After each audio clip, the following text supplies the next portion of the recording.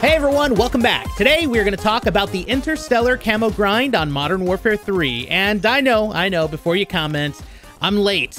Many of your favorite creators probably got this done weeks ago. It's okay, we all work on this at our own pace, and you know what I'm here to tell you? That's the best part about this camo grind. Even when you look at what Infinity Ward did last year with Modern Warfare 2, and this is something that I'll always give Infinity Ward props for, is they changed the camo unlock system to do something much better than what we had seen before.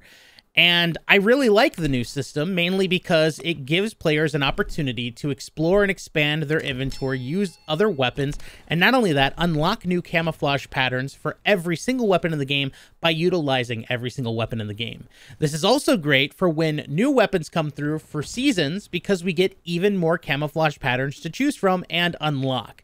So I'm glad that they brought it back, and it's pretty much the same thing this year with Modern Warfare 3 outside of a couple of different changes. Now, if you all remember, last year with the Orion grind, we were kind of hitting our head against the wall when it came to platinum camo because of long shot challenges. And I think that was the biggest complaint out of the camo grind last year, just because there was too much uniformity between camo unlocks for every single weapon. It didn't really matter what weapon you were using, you were getting long shots.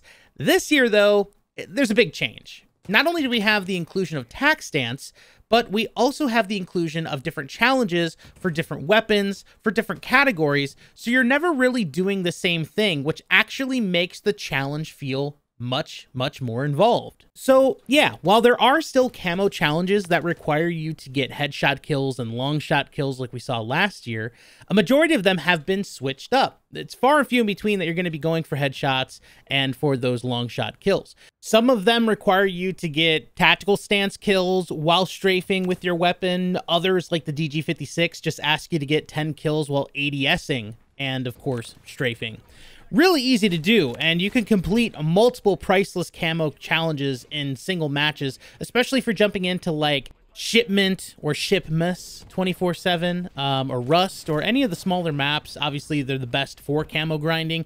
You're going to get things done really, really quickly. Although I will say it's not all sunshine and rainbows. There are some challenges in here that just I absolutely can't stand and it mainly comes in the form of our SMG challenges. You'll notice a couple with the handgun challenges as well, where you are required to stun somebody with a tactical and then take them down. You wouldn't necessarily think that's a hard thing to do until that's the only thing you need to do. And, you know, just keeping it real, it's not difficult. It's not hard. It's just more annoying because it's kind of luck based. You don't know if someone's going to be running anything that can prevent your tactical from affecting them.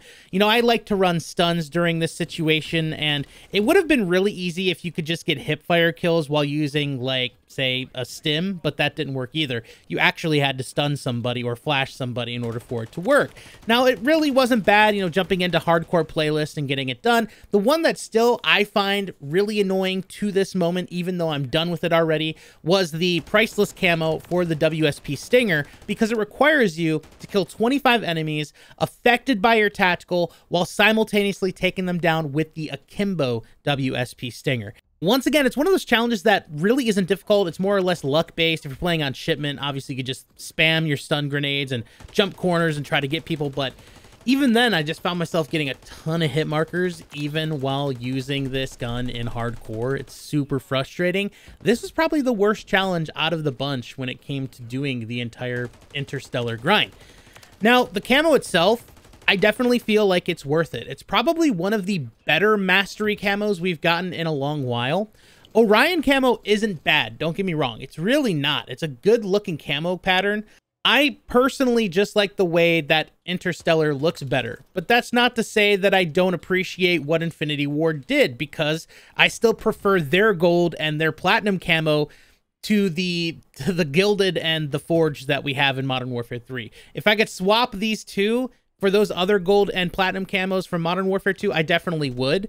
Um, polyatomic is in its own little area, though. I like polyatomic. I would really like to rock that in the Modern Warfare 3 weapons. But once again, for some reason, they made the choice to allow us to use every other camo pattern except for the mastery camo, which I feel is weird. They should allow us to do that. I don't know why they don't. It would honestly make for a really cool mastery completion grind. Like say you did all the camos and zombies and multiplayer, then it would allow you to use the Modern Warfare 2 camos on your multiplayer weapons. I definitely think a lot of people would go for that. Even those folks that may not enjoy zombies that much, I can definitely see them even jumping in and trying to unlock these things to get the completionist reward of having all of the different camos available on the Modern Warfare 3 weapons. That would be really cool. I've seen a few conversations floating around online about the uh, usage of tac stance and whether or not it's just a throwaway feature, whether or not it should even return. And, you know, tac stance to me is kind of reminiscent of what Sledgehammer has tried to do in the past. Like, if you think back to Advanced Warfare, for example, they used to have a feature called Speed Reload, where instead of just tapping reload once, you could double tap it and throw away the entire magazine and reload even faster. This means you would lose ammunition at the expense of reloading faster. And there were so many people that didn't even know that that was a feature in the game. Tac stance is very similar. I rarely see anybody utilizing it. And, um, you know, having some challenges that require you to use it is also kind of reminiscent of when mounting was added to Modern Warfare 2019 and pretty much every camo challenge required you to mount somewhere on certain gun categories. I don't think that tac stance is disruptive as mounting. I don't think it's as disruptive as um, even the, the the fast reload, the quick reload. I don't think it's disruptive like that. It actually just adds to the gameplay, if anything. I really like it personally because there are certain situations where I can find it useful. The best example is while using ARs that have higher magnification scopes. When you're playing maps like Quarry, it's a great example there are certain situations where you're going to need to try to clear one of the buildings, or maybe you'll get into a closer engagement that doesn't require the uh, the magnification that you're using. So you swap over to tac stance, and it gives you the best of both worlds. You get that magnification when you're in long range engagements, while still maintaining that close quarters possibility. And I, I think that's great. So having that is a really nice feature, and there is a place for it because there are certain situations where you would definitely want to use it. The same thing can be said for shotguns in certain cases as well. Instead of doing a full-on ADS, you could do the tac stance and still gain a lot of benefits from it. So overall, I like the feature personally. I will say that there were a couple of challenges that were a little bit annoying. You know, kind of once again going back to using the stun grenade and then using tac stance to take someone down. It wasn't too crazy because of the shipment and Shipmas 24 7 playlist going on right now, but um, I could see it being super annoying in regular size maps when we don't have a small map 24 7 playlist going on. But I really liked the Interstellar grind. I'm looking forward to seeing what weapons they add through future seasons.